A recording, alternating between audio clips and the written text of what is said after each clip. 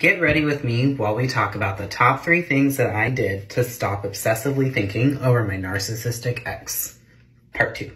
So this next part we're going to talk about is so important that I literally have an entire section in my course devoted to just this. One of the most common side effects of trauma is emotional irregularity and difficulty managing your emotions. And if you know, you know, girl.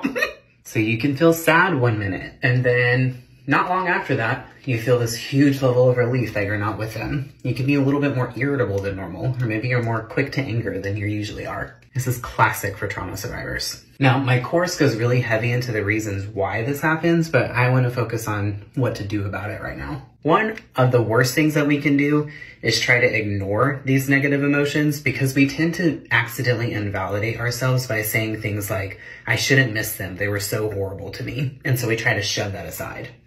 And that's no bueno.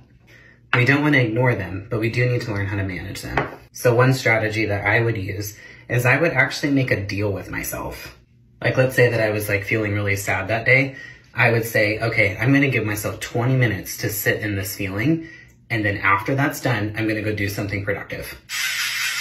And when I say productive, like it doesn't have to be anything crazy. Like it can just be going for a walk or it can be cleaning the dishes or it could be putting up the laundry that's been sitting out for the last five days just something to physically redirect you.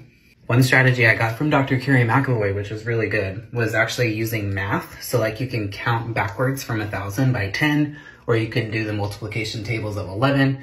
Just something to make you concentrate on something else other than this feeling or this obsessive thought.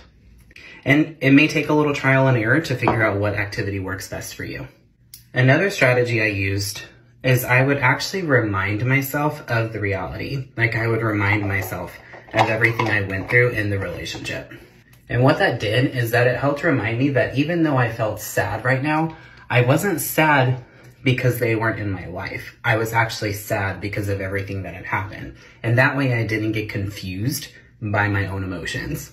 Now, again, y'all, I have a whole section about this devoted in my course, so if you do feel like you need more specific help for that, please go check that out. But the main message that I really want you to hear is do not feel guilty about the emotions that you are feeling. None of them are wrong, but we have this tendency as survivors to gaslight ourselves and say that what we're feeling right now is either wrong or it's unjustified.